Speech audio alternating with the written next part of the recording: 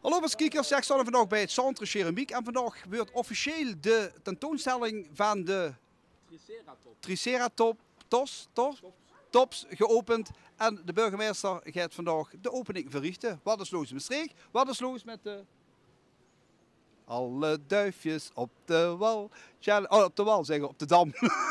Wat is los met streek? Wat is los met de tri Triceratops? Triceratops.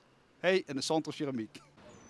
Ja, vandaag mag u de tentoonstelling openen, de Triceratops. Zeg ik het goed? Ja, je zei, ik wou zeggen, zeg het zelf eens. De Ja. Triceratops. Ja, ja. ja. hartstikke leuk. eh, Vertel even. Ja. Nou ja, hartstikke leuk. Kijk, wij zijn natuurlijk eigenlijk een soort Jurassic Park hier in Maastricht. Hè. Wa- 65 miljoen jaar geleden leefden hier van die fantastisch grote wezens zoals de Mosasaurus.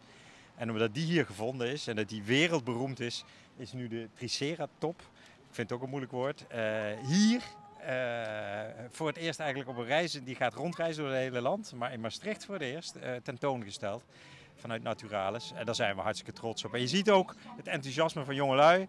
Eh ja, dit is, dit is echt een mooie, mooie actie. En de Triceratops is welkom in ons eigen Maastrichter Jurassic Park. Hè? Ja. Ja, super. Ja, het eh, blijft staan tot augustus. Hè. Ze hebben eh, nou eh, zeg maar een model neergezet. In ieder geval stukken daarvan zijn wel echt. Hè. Eh, ja, hoe, hoe bijzonder is dat dat het hier in Maastricht ook staat?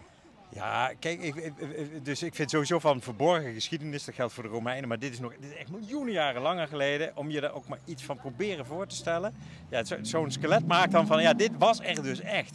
En zo groot. En, wat, wat, eh, en, en dit is een planteter, als ik het goed begrepen heb allemaal. Nou, die moet behoorlijk wat verslonden hebben.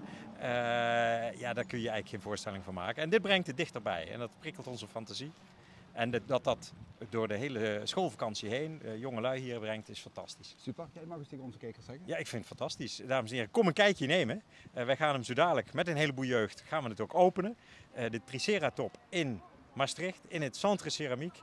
Eh, en daarmee eigenlijk ook iets beloven, denk ik, van ons eigen eh, natuur, eh, Natuurhistorisch Museum. Want daar ligt natuurlijk Berg. En eh, daar hebben we ook grote plannen mee hoor. Oh, ik weet wat